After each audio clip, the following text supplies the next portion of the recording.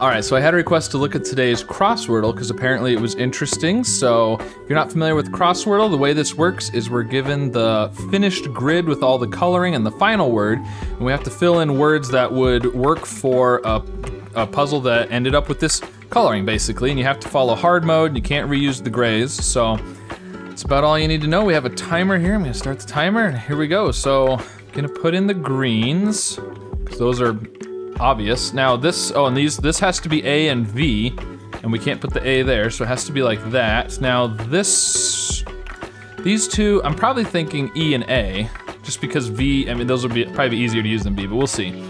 Those could be switched. Um, and we could put a V up there too. Let's see, down here, can't do, now we can't do have, carve. Carve would work.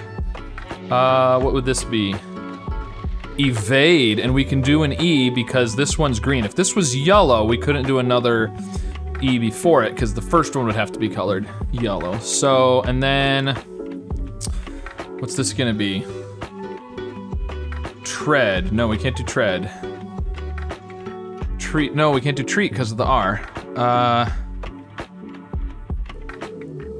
sweat. We could do sweat. And then we've got O, I, U, and Y for vowels up here. We could do, could we do point? No, we can't do point. Um, something O, I maybe?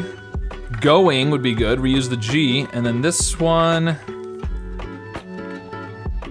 Puffy. There we go. All right, minute 17, not too bad. So let's see, were there other, it was, I'm curious if there was anything besides carve. Oh, ovate, I was thinking instead of evade.